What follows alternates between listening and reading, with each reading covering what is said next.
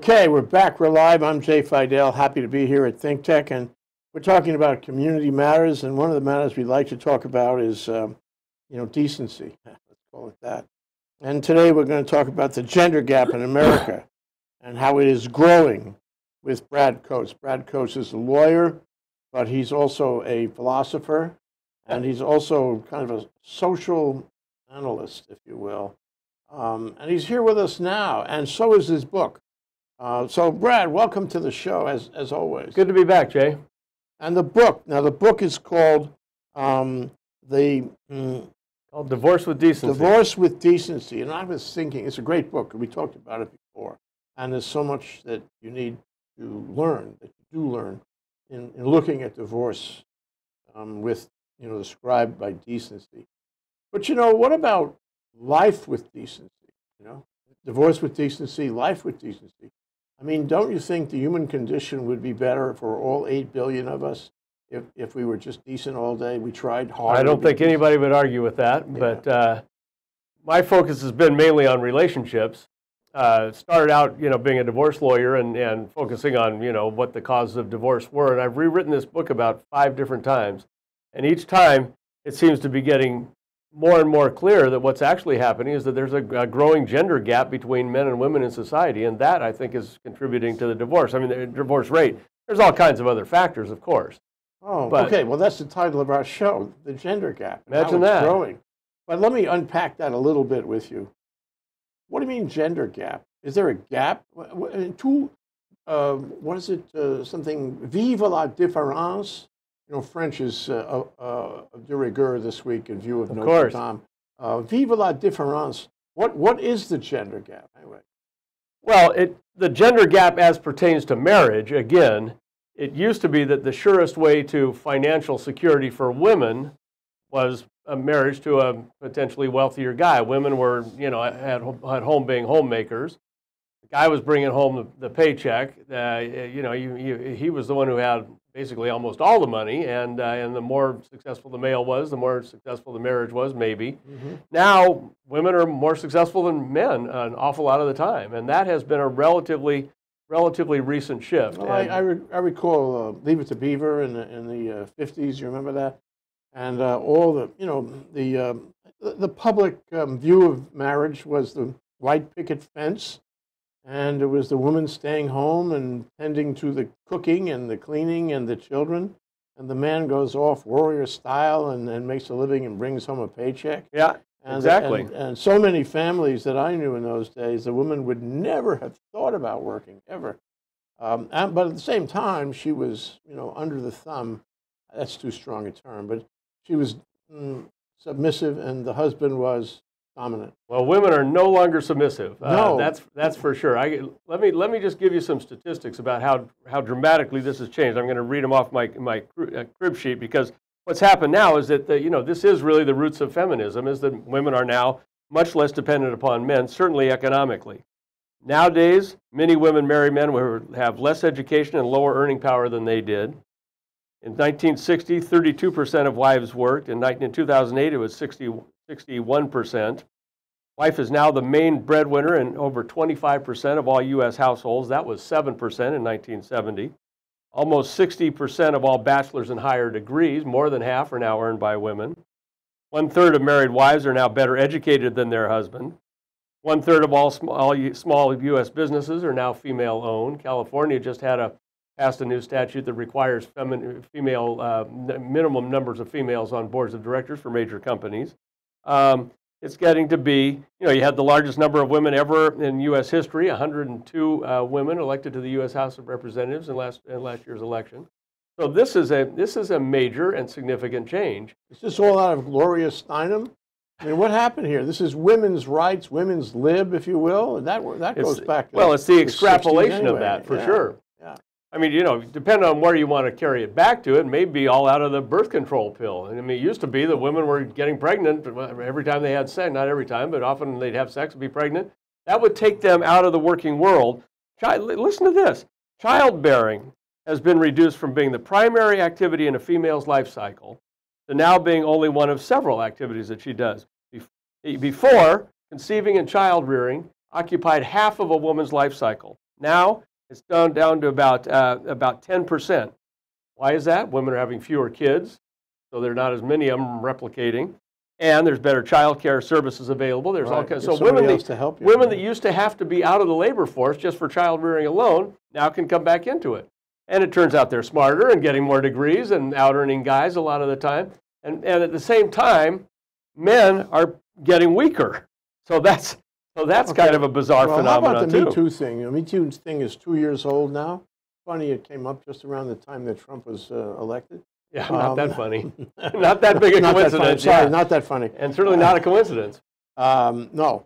Uh, so, so here we have the Me Too thing. It has gone in every direction, including don't, don't even, don't even touch me uh, in an affectionate way.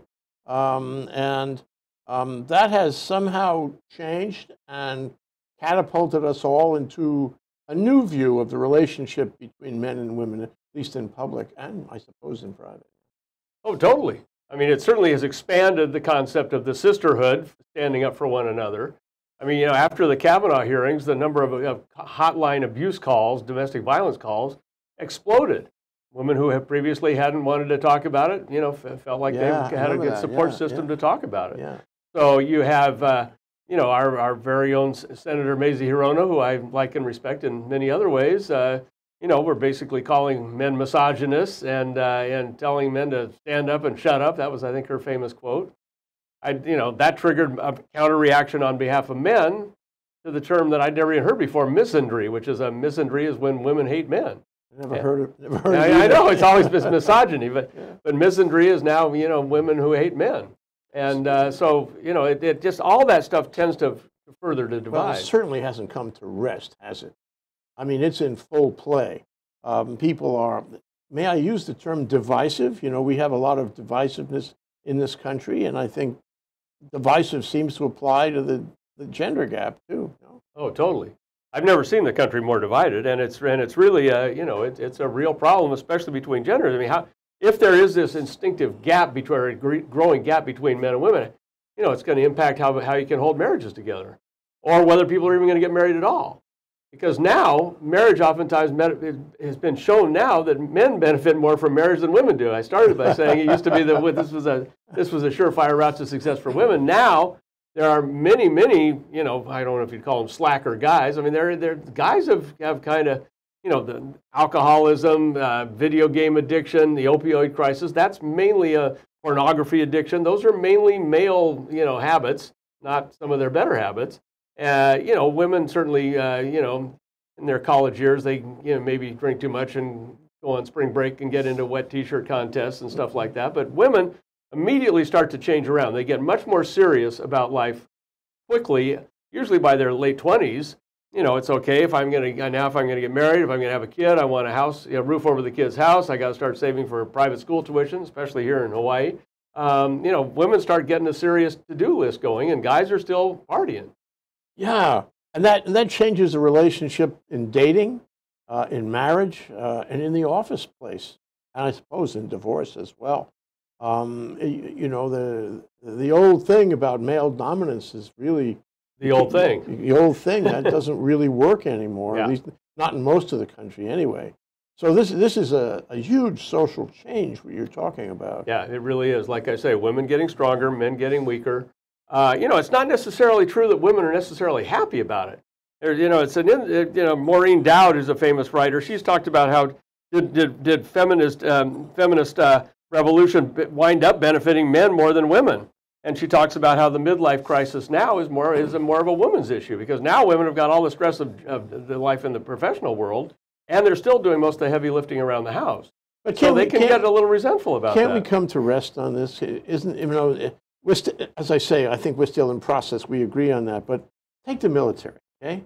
Um, and without getting into the LB LB, you know, the LGBTQ, les- Q, yeah, right. yeah, all that, uh, and the and the uh, the trans issue that Trump raised this week.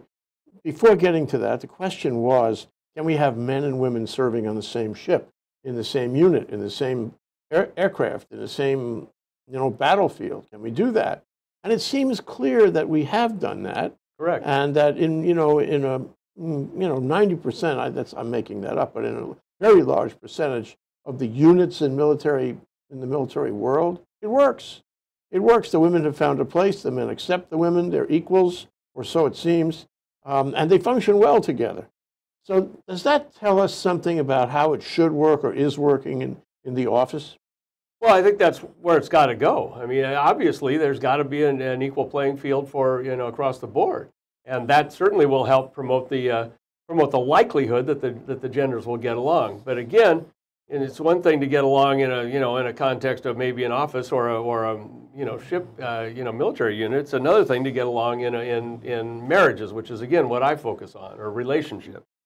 Eighty percent of all relationships are are ended by women. Two thirds of all divorce filings are started by women. What does that tell you? It means that women are unhappy more often than men are. You know, men men will basically stay in even a bad marriage as long as they're getting fed regularly and as long as they're hopefully getting some sex but and getting whatever. And, and how, uh, how many house... of those are the result of the fact that the, the, the, fellow goes out and plays, he's having an affair, which a woman cannot tolerate. Women do I mean, not tolerate sort of that. a catalytic result, catalytic yeah. reaction. In my experience, and I've handled I don't know thousands, tens of thousands of divorces in the Coates and Frey law firm if you're going to see a divorce started by a man, it's almost always because he's got some gal on the on the on the outside. And you're right; the wives don't think that's very funny at all. But that's about the only time guys will leave marriages. And how about the women? You, I mean, if, if a woman finds out that her husband is uh, having an affair, doesn't that inevitably lead, or great likelihood that will lead to a divorce? Sure. I mean, it certainly increases the likelihood. Sometimes you can work it out in counseling, whatever. But but the, but women will get divorced for all the you know what you would call the right philosophical reasons. I mean, women will get divorced for you know lack of communication. A lot of guys don't even understand what that is. I mean, physically, women have 20,000 communication signals a day, and guys have 7,000. Whether it be rolling your eyes or speaking out, you know, actual spoken words or you know shrugging your shoulders, whatever. Women are totally tuned turned on by and tuned into communication. And guys are not great at it. Guys are still cavemen in a lot of ways. So women get dissatisfied with that. You know, they will leave, literally leave a relationship just because a, a, husband is not, you know, their dream guy anymore. Mm-hmm. Women, a guy will, like I say, as long as he's relaxed in his lazy boy lounger and getting to watch sports on TV and getting fed three meals a day, he'll stay in even a bad marriage.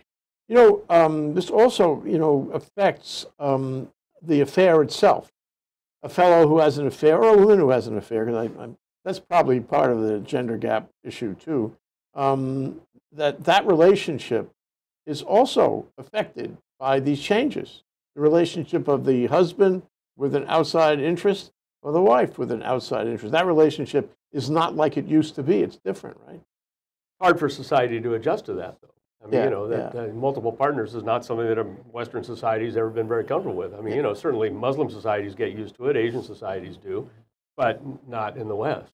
Well, you know, one thing that uh, strikes me is that you're talking about here in the title of the show, um, the gender gap in America is growing, which suggests that they're further apart, the male, the female, what have you, further apart. But, but isn't, I mean, economically, aren't they closer and closer? So why do we talk about growing apart when, in fact, um, you know, salaries, uh, power in the office. Oh um, yeah, no uh, question. Uh, you know, possibilities of advancement are closer. I'm, I'm, talking about as as it, as it affects the relationship. Certainly, there. You know, the closer we come to equality. I mean, now we've got you know almost as many women in the House of Representatives as we do men. And a lot of people say it's much better to have women you know, run companies and that they're better mediators and, you know, be better managing partners of law firms. I mean, all that stuff is very auspicious. The problem is what happens when, you know, when the woman who's been the managing partner of the law firm and has had a very stressful day comes back home and her husband is, you know, underachieving, you know, playing video games, watching porn, getting drunk, doing all the kind of things that guys are so great at and making half the money she is, how long does that, you know, how long does it take before that starts affecting her dissatisfaction with the relationship? One minute. So, it takes one minute. Yeah, exactly. And that's because we're going to have a one minute break right now. Brad Coates, uh, matrimonial lawyer and philosopher. We'll be right back. Aloha, I'm Gwen Harris, the host here at ThinkTech Hawaii, a digital media company serving the people of Hawaii. We provide a video platform for citizen journalists to raise public awareness in Hawaii. We are a Hawaii nonprofit that depends on the generosity of the supporters to keep on going. We'd be grateful if you'd go to thinktechhawaii.com and make a donation to support us now. Thanks so much.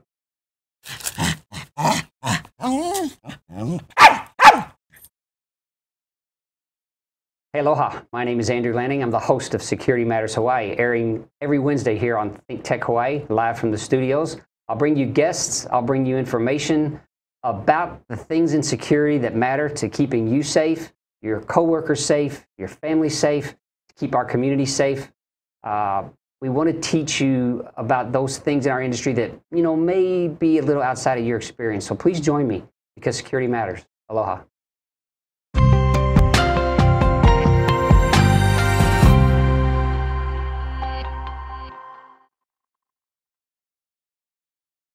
Okay, okay, we've had a minute to think about that. But you know, one thing is, you know, this discussion, this issue that you've raised, and I know you give talks about it hither and yon, it's a little scary for men, isn't it? It, It it means is they no longer have the prerogatives they thought, maybe they thought when they were younger that they would have. You- you- Listen to this. The new trend, as published in a recent article by the American Psychology Association, has described toxic masculinity as a public health crisis and recommends treatment guidelines for men and boys, which effectively pathologize the male half of humanity. The report asserts that traditional masculinity, marked by stoicism, competitiveness, dominance, and aggression, is harmful to both themselves and society, results in the oppression of women and minorities, and an epidemic of violence. Telling Oh. men they need conversion therapy just for being men. That- I mean, that- you know, You know, this is this is. I always look at maybe this is an inaccurate way of looking at it. Look at American culture through American art, through movies, of which we are covered these days. And I, and I wonder if that's if that's a fair way of looking at this, because uh, do you think the movies we see, the shows we see on television, correctly inform us about these changes and about what is really happening? and, and about, for example, this uh, you know male conduct you described, toxic, toxic male conduct. Um, is, can we learn anything from popular art?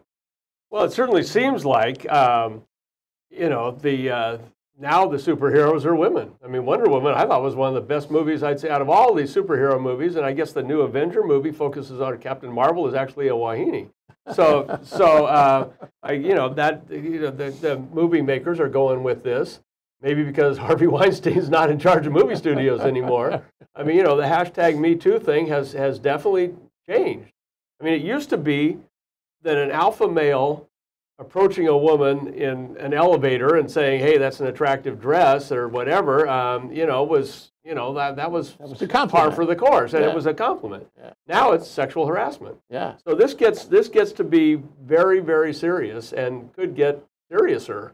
Um, the more the more uh, Well, let's talk about that. I mean, you, you, you so it's going to get worse. Maybe you know anything I say can be turned the wrong way against me in the elevator or otherwise, and expose me to criticism or worse um, because of the gender gap, or at least the, the sensitivity after the Weinstein change. At the very least, the genders are going to be more on guard vis-a-vis one On another, which, which may be, you know, that may be okay. It may be but okay, it, but it also does kind of mess with, you know, the Darwinian theory and thousands of years of, of you know, of uh, you know, human history and biology. Yeah, how you know? uh, What about the old thing about male mm, male hormones? Male, you know, need to hunt, right? And uh, you know, be a, a warrior and come back with the beef and all that. You know, the necessary, I mean, historically necessary role of the male. Are, are we going to are we going to lose that? Uh, maybe we have to. We're going to have to neuter it to some degree. I mean, I mean, men are going to have to get to be more sensitive. What women want is, is sensitive, communicative males. They don't want a big, brawny, come home with the, you know, kill the saber-toothed tiger at the at the head of the uh, at the head of the cave type of guys anymore. Um, you know, female athletes are doing stuff that you would have never even believed anymore. I mean, I watch some of these uh, some of these Wahine runners running a marathon. You know, five minutes slower than than guys. Uh, you know, It's it's true. it's amazing. Just in Boston this week. That's right. So, you know, I just wonder, you you talk about the future, and I'm interested in the future. I mean, I think we here at Think Tech are always interested in, you know, projecting into the future.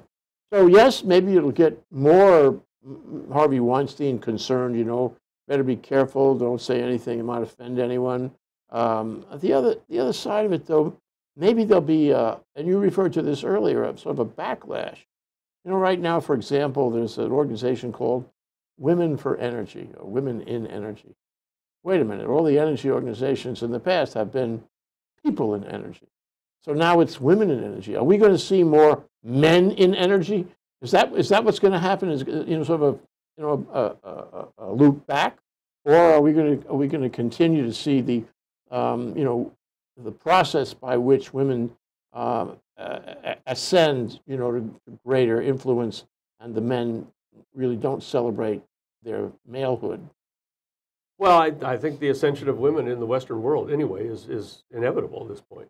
I don't, you know, I don't think there's any, any question about that. I mean, women are able to do stuff that guys don't seem to be able to do. And the more the paradigm shifts to, to the focus in society being on that rather than on just, I mean, nowadays, you fight a war by, by triggering a drone strike, uh, Right. you know, and, and uh, you know, and women can do that just, Just as easily well or just as a better. guy. Yeah, Yeah, it's, yeah. it's not. It's not how many hands do you need to hold a or broadsword. anymore. information technology, computers, all these big companies, they're dominant and they're very successful companies, and women can do that just as well, if not better. I think it's probably a great thing for society and for the and for the economy. And I mean, you know, by all means, I I love to hire women in my law firm. The problem is, you know, what it's going to do to the traditional male-female, you know, romantic relationship and marriages. I mean, 51% of all females in, in the U.S. nowadays are unmarried. They don't they don't want to get married. They have kids out of 50% of all kids born to women under 30 are, are out of wedlock. There's really almost no need for the and, and the world is becoming, the Western world is becoming more secular and less religious. And so the religious confines that the use constraints that used to keep society You together don't need, don't need marriage anymore. you don't need marriage It- it- anymore. before it served the purpose, uh, economic primarily, but other things. Now, now you don't need it because you can get what you want without marriage. and with a longer lifespan, you know, then you've got to try and have a have a relationship that actually sticks through all that and continues to work, and that gets less and less likely because you need. Oftentimes, people need different partners for different stages of their lives. So, so marriage. I mean, there are there are uh, there's a guy named Charles Martel who's predicted the the end of marriage in 2000 uh, between 2028 and 2034. It's the sociologist uh, Charles Martel, which uh, that ain't that long away. 10 years. A six-year span there? Yeah, some- somewhere within the next 10 to 15 years, he predicts the end of marriage altogether. What do you think? I don't think it'll You be know, quite that. as a as a matrimonial lawyer, this should be of some concern to you. yeah, no kidding. And already we've already we've changed our practice a lot to focus on on paternity cases, which are you know child rearing cases, uh, custody and child support for kids born out of wedlock. Uh, you know, Different issues now, yeah. yeah, and and domestic abuse is a huge issue nowadays. So Is it huger because of this? well, it's certainly been, been brought more to the forefront now. Yeah. I mean, Yeah, because we're more civilized about it. The we're more sensitive about it. caseloads in those areas for a, for a matrimonial lawyer have gone up exponentially. So, really, what I want to get out of this here in the last few minutes of our discussion is um, some advice. Yeah. Advice to men, and for that matter, advice to women about the gender gap, how to deal with it, how to adjust your thinking about it, your worldview about it, and your day-to-day conduct, so that you, you know, don't cross a line and and and uh, undermine, you know, your position in the community or your relationships with people around you. What's your advice going forward, knowing all this uh, and thinking about the gender gap and how it's growing? Well, there's, uh, I think women's progress in the, at least in the Western world, is virtually unstoppable. I think you got to take that as a given. Uh, there are some there's some chemistry that might work. There's something called a vasosuppressor, which is a, a vasosuppressor, which is a bonding hormone where maybe people can, you know, literally take chemicals that make them be more empath- empathetic and, and more emotional towards one another. Um, fixing the sexual problems would probably help, but that's something that's gotten even worse. I mean, we'd have to do a whole nother show about what the impact of, of uh, instant dating, uh, the uh, pornography, you know, far more, you know, something like 60% of all males, but only about 30% of all females feel that sex is, is important to their marriage. So maybe women, you know, could, with sexual, there's, there's sex counselors, sex therapists that can maybe improve those statistics. That's actually gotten even worse. It used to be that both, gen- both genders sort of ran out of gas as far as their sexual needs sort of simultaneously as they aged. Now, men can take Viagra, so even an old fart like you could theoretically feel sexy.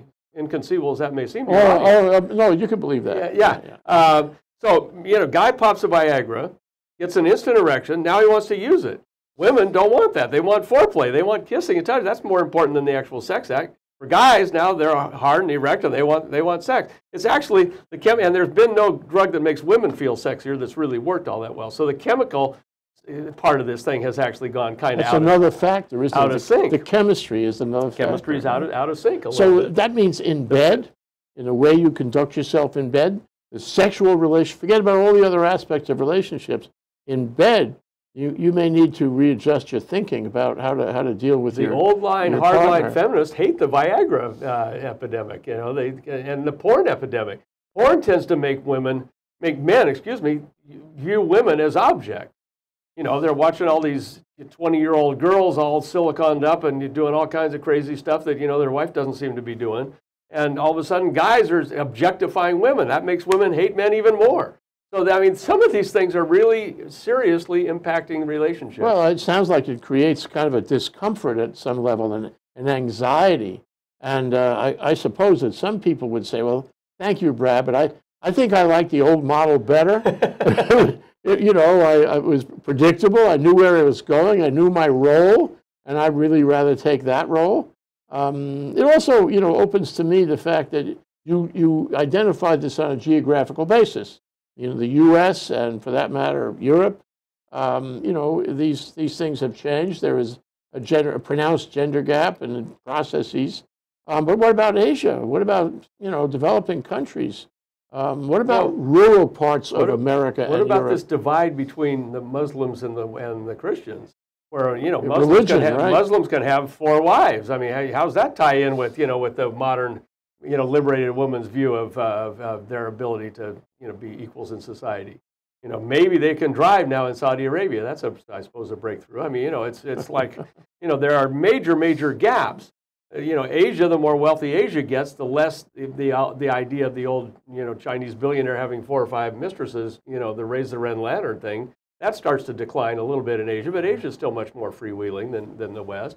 And and the Muslim and Arab countries are totally different. I mean, it's a a whole different grid that people function on, and uh, it's going to be hard to it's going to be hard to bridge in America. uh, You know, if guys can you know be more in tune with their sensitive female side, uh, you know that's probably the best advice you can give somebody for here. And ironically, women get more dissatisfied with their lives as they age, and males get more satisfied with or without marriage. Guys are in their 50s are happier than, their, than guys in their 40s. They've traced that. Midlife, I've- I've heard that on midlife NPR crisis and all that is, you know, that's, the, that's a, a male's time to be down on himself and be suicidal or whatever is, is in his 40s. In women, they, as, they, as they start to age out, they get less happy, although you would think that they would be maybe more happy, maybe they've even achieved more, but they've, they've had more stress along the way. self-image, uh, image of their own looks and beauty, whatnot. Uh, It's complicated, but let me say that I'm, you know, I'm always amazed that what you do in terms of the matrimonial practice is really at the center of multiple intersections. And you've written it up in your book, and you talk about it and give talks. It's and it's really right on the money. I mean, I'm not joking when I say you are a philosopher, Brad. Well, what's happened is it's, it's turned into, I mean, you know, family law, you know, it's turned into sociology, demographics, biology. There's all kinds of that stuff that starts to interweave. I mean, I've been a divorce lawyer for a long time. I run the biggest divorce firm in the state. And, um, you know, I've been, you know, we've probably done, firm's probably done 30,000 divorces. I've probably personally done eight or 9,000 of them. You know, I got a little tired of just doing the meat axe down the middle kind of divorce law, and I kind of wanted to get more interested Well, in, what, you know, what goes behind it. Very important that you've done that. Very important for any family law attorney. But it's also very important that all of us integrate what you're talking about. Thank you, Brad. Brad Coates. Really appreciate you coming Always down. good to see you, Jay. Yeah, do it again soon, right? Okay. Good.